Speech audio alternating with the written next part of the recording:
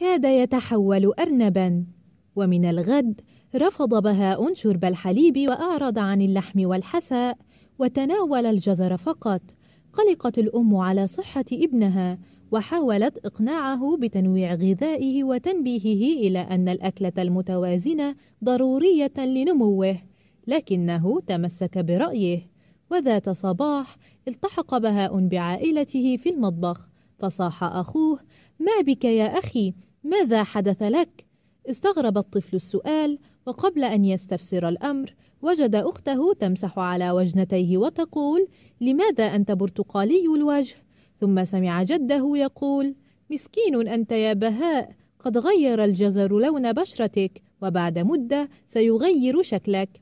خاف الصغير أن يصبح أرنبا وأراد أن يرى وجهه في المرآة. فأقبلت عليه أمه وبيدها قطعة شهية من المرطبات وكأس دافئ من الحليب وهي تقول هيا أسرع بالأكل قبل أن تتحول إلى أرنب.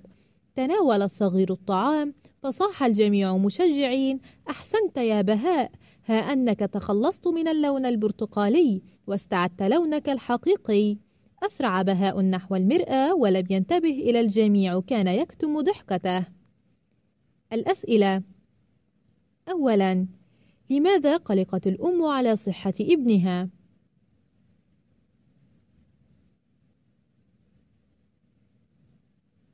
قلقت الأم على صحة ابنها لأنه رفض شرب الحليب وأعرض عن اللحم والحساء واكتفى بتناول الجزر فقط.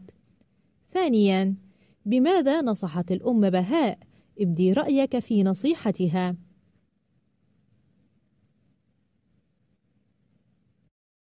نصحت الأم بهاء بتنويع غذائه وتنبيهه إلى أن الأكلة المتوازنة ضرورية لنموه. رأيي: نعم إن في تنويع الغذاء وتناول وجبة متوازنة تساهم في بناء جسم سليم توفر له الطاقة وتمنحه الوقاية من الأمراض لذلك فإن الأم على صواب ثالثا لماذا قبل بهاء شرب الحليب وتناول المرطبات؟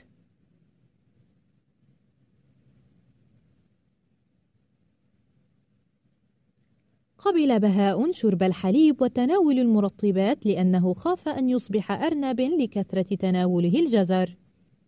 رابعاً: هل صحيح أن الإفراط في أكل الجزر يلون البشرة؟